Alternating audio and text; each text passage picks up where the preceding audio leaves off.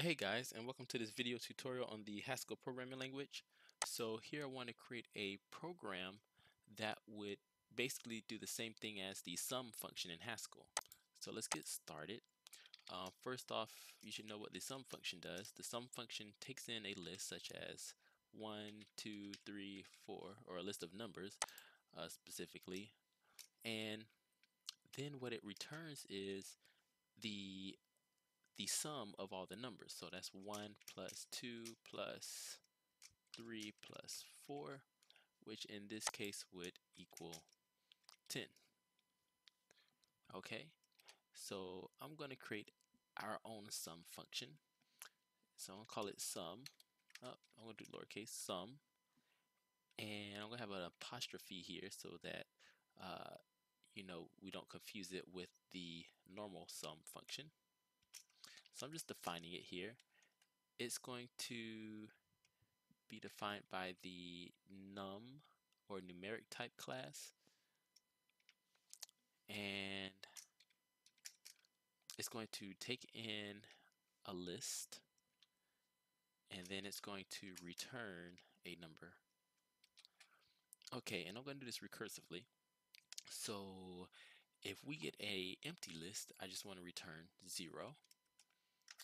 So sum of an empty list is going to equal zero.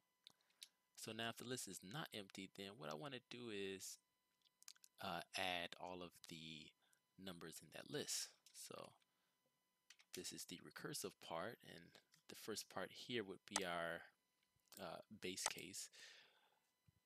So we're going to take in a list, x and x's. So the head of the list would be x, and then the x's would be the rest of the list. And so we're going to take the head of the list, that number, and we're going to add it to our sum.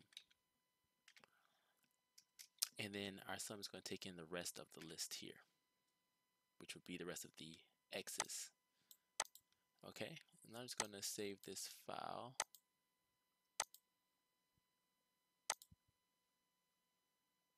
Okay, it's already as a Haskell uh, type and I just call it sum. Alright. And let's see. Alright, so here we have sum on my desktop here. Just going to double click it. Alright, perfect.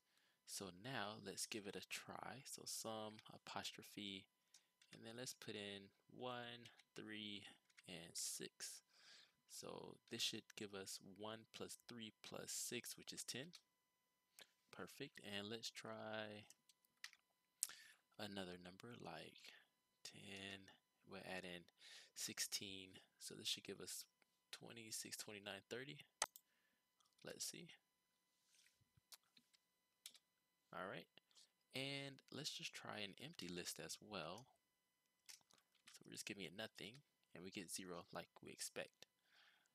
So thank you guys. I hope you really enjoyed this video on Haskell creating the sum function.